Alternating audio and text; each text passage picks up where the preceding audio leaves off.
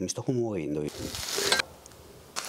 E Gabriele, ma come mai così pochi ingredienti? È perché è una ricetta semplice, davvero facile e ci fate un figurone. Padella, siamo solo io e te, Beatrice. quindi padella non tanto grande, dipende da quante porzioni volete fare, quindi la sto facendo per due. Un po' di olio extravergine, non tanto perché poi non lo tiriamo via, quindi non deve essere tanto. Filettino di merluzzo, bello, fresco, va bene anche il baccalà, va bene il pesce persico, filetto di orata, purché sia una carne bella consistente e un pochino di farina. Infarinare, i celiaci possono usare anche una farina deglutinata o qualsiasi farina preferiscono, anche l'amido di mais, infarinare bene. Via la farina in eccesso, mi raccomando che il pesce sia asciutto, è importante, altrimenti vi fa le patacche. Nella padella. Non è una ricetta banale, eh? merluzza al limone, perché se è ben fatta fa davvero la sua porca figura. Vi faccio vedere due o tre trucchetti per farla benissimo. Un bel limone biologico con su una bella buccia lo tagliamo a metà. Ci serve il succo di tutto il limone e la scorza di mezzo limone. Intanto il merluzzo piano piano sta rosolando. Eh. Quando si fanno tranci di pesce così senza pelle, senza spine, vanno girati una volta sola, perché se continuate a toccarli e a girarli li distruggete. Prendiamo anche la scorzetta di quasi mezzo limone, tagliata sottile, cercando di non prendere il bianco, perché il bianco spesso è un po' amaro.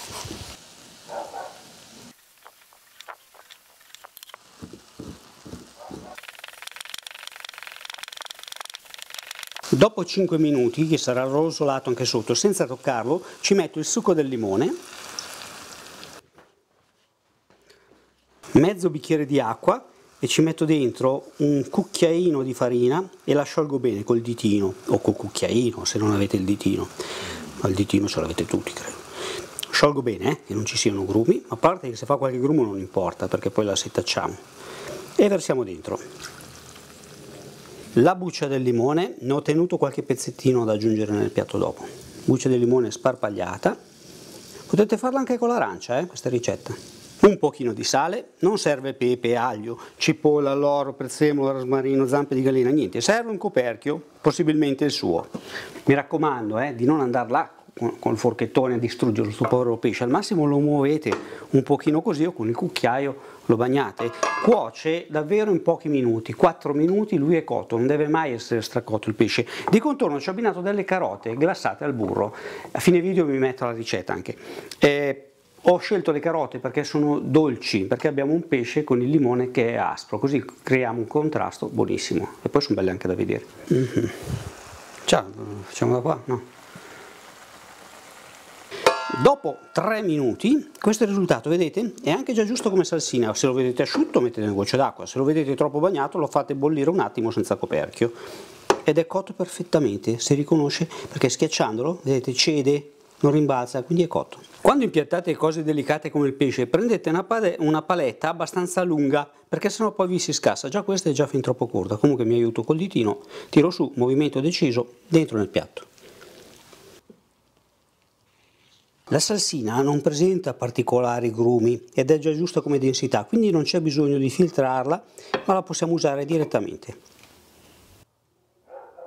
Le buccine le metto sopra, con un senso, fate un po', oppure sparpagliate, come preferite. Le carote, naturalmente scegliete il contorno che più vi piace, eh. se volete farci le patate, i piselli, metteteci dentro quello che volete, io mi trovo bene così, ma mettete quello che vi piace. Se le avete tenute da parte qualche buccina di arancia o di limone qui e là dove capita, una macchiolina di verde, ma giusto per dargli un po' di colore, una fettina di focaccia, mi sto commuovendo io, va che, va che bella. Facile, no? Due ingredienti, abbiamo fatto la ricetta, ci vogliono 10 minuti davvero di orologio per farla, potete farla all'arancia, potete farla come volete. Carotine, vi metto qui la ricetta delle carote, qui o qui, dopo vedo. Ma la vera libidine, sì, buono, ok, a bestia, questa è la vera libidine. Mi, mi filmi di nascosto e passo per mangione. Buona la focaccia. Ma stai già masticando? Devo assaggiare se il prodotto è buono. Stai registrando.